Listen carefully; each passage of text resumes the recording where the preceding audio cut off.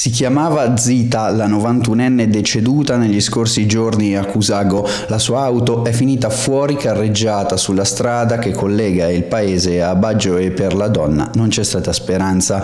Cordoglio in paese per la morte di Zita Forner. L'anziana infatti era molto conosciuta sul territorio e in particolare per la sua generosità. Era tutor della colonia di gatti liberi di via Cusago a Milano, ha raccontato il personale dell'ufficio tutela tutela animali del comune di Cusago un dolore immenso, un tragico evento avvenuto a causa del terribile incidente che l'ha coinvolta.